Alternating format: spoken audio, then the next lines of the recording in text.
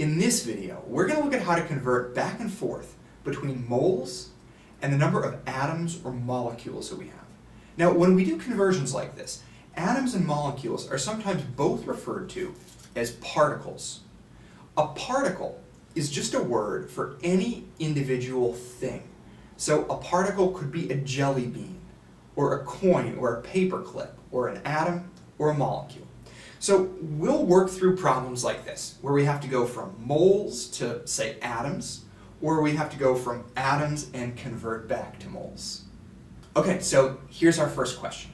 For each one of these problems, I'm going to do it two ways. First, I'm going to show you how to think through it in kind of a simple, straightforward way so you can really understand what you're doing. Then, I'm going to show you how to use conversion factors. I think conversion factors don't always make a lot of sense, and I know a lot of students are confused by them. But teachers and textbooks tend to really like conversion factors, so it's important to know how to solve questions like this using conversion factors too. Okay, so how many atoms are in 5.5 moles of atoms? We're talking about moles and atoms here, so let's just refresh our memory about moles, okay? A mole is like a dozen, but there are 12 things in a dozen, and there are 602 hexillion things in a mole. We often abbreviate this super long number with all these zeros, 602 hexillion, as 6.02 times 10 to the 23rd. Moles can be a little bit tricky at first, and so I want to keep talking about the similarity to dozens as we work through this first problem. Okay?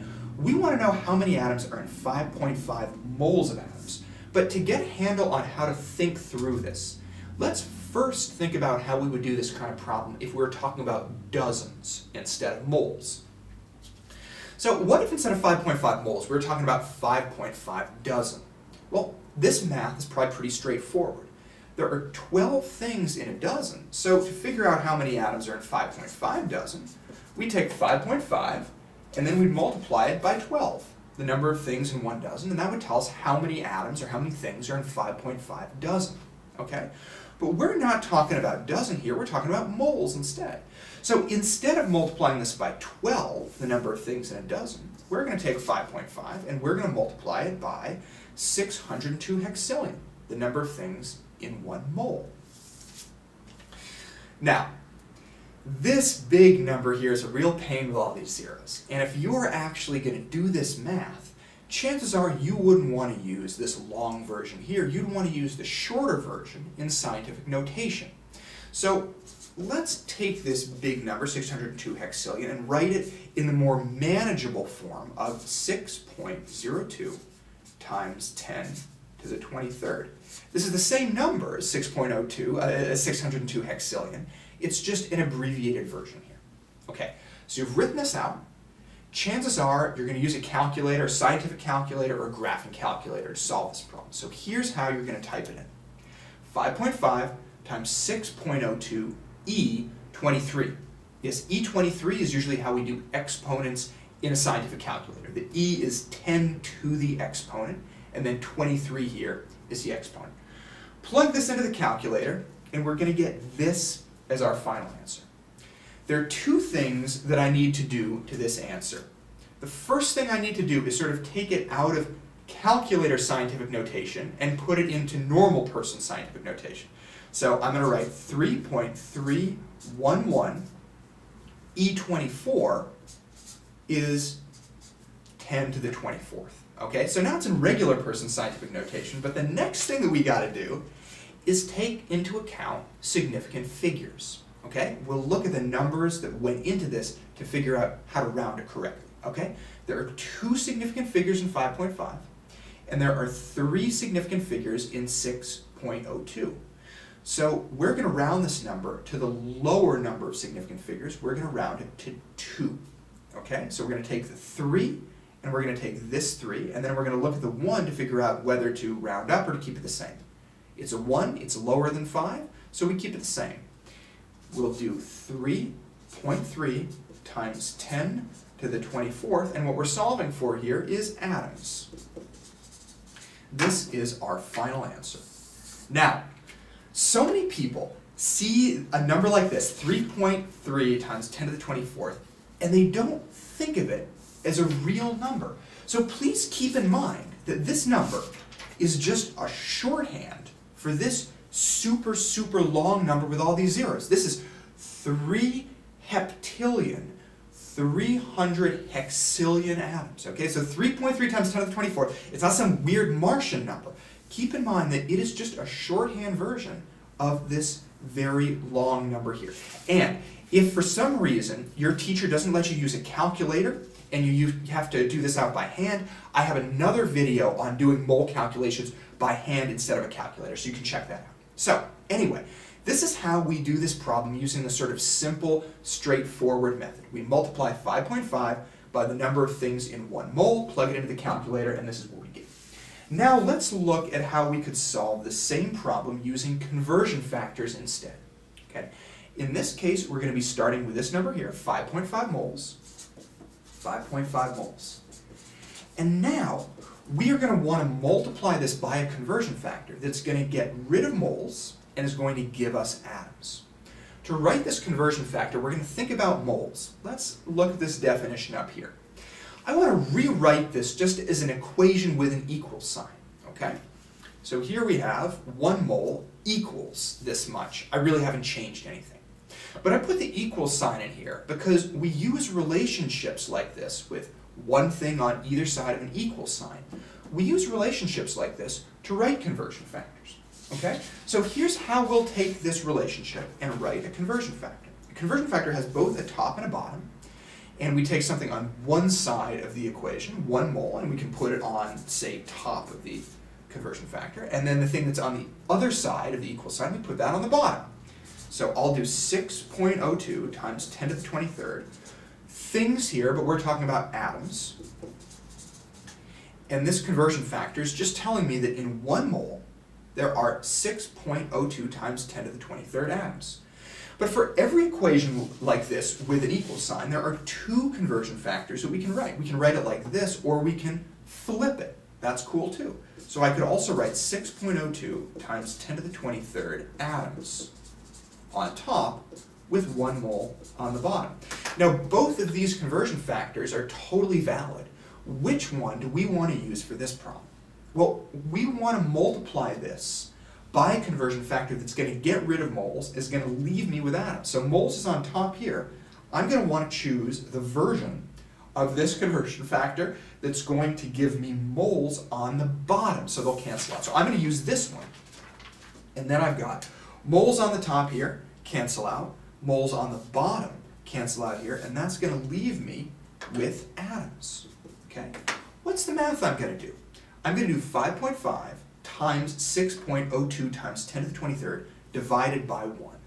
Now you might realize that dividing this number by 1 doesn't really change anything. So all the math we're really doing is just 5.5 times 6.02 times 10 to the 23rd which is exactly what we did up here. So you could just type this into your calculator and get this as an answer.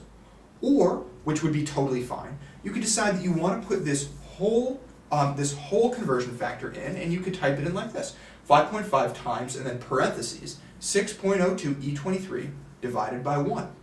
Whichever one you type in, you are going to get uh, the same number here, which in regular person scientific notation is going to look like this, and then we round it using sig figs to get this number here. Now once again, don't forget that 3.3 times 10 to the 24th is just an abbreviated version of this very long number of atoms here. Okay, so that's how we go from moles to say atoms. Now let's look at how to do problems in the other direction, from say atoms or molecules to number of moles. How many moles is 4.6 times 10 to the 24th sulfur atoms.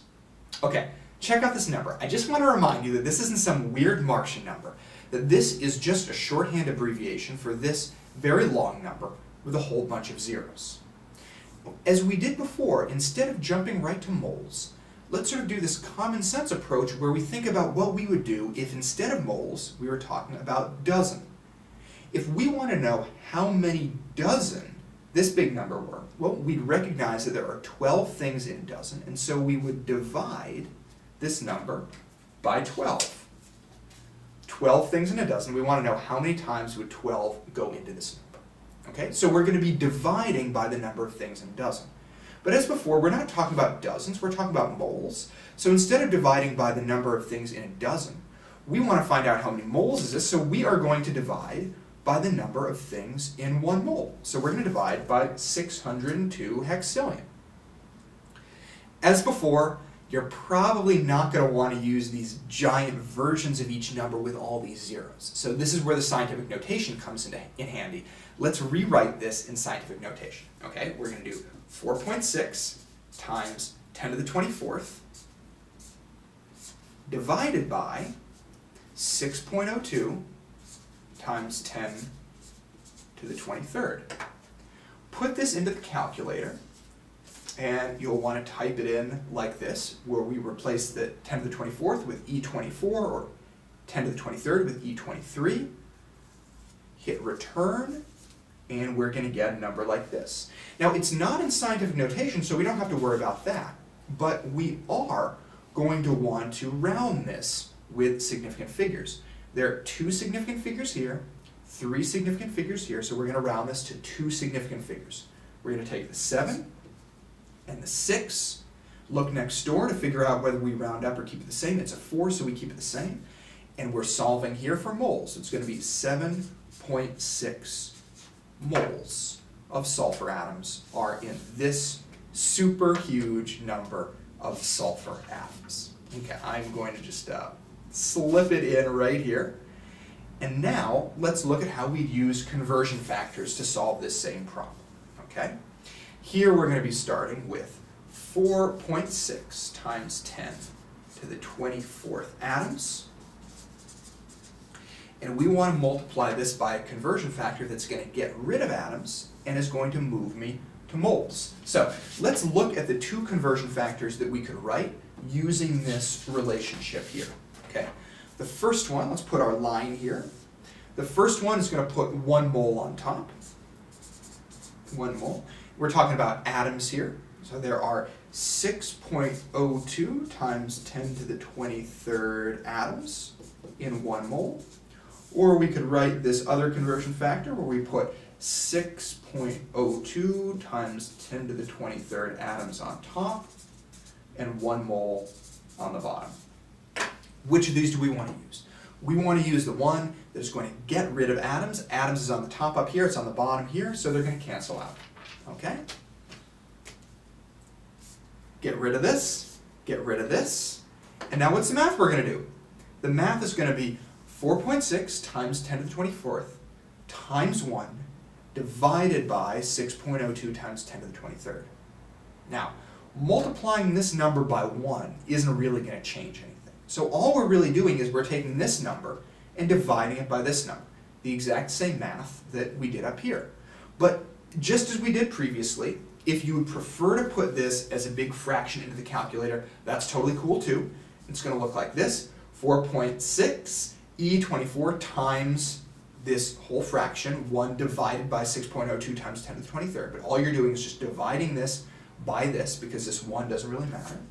We're going to get the same number here, which rounds to 7.6 moles. So that's how we go from a number of things like atoms, molecules, jelly beans, or coins to figure out how many moles are in it. We divide it by the number of things in one mole.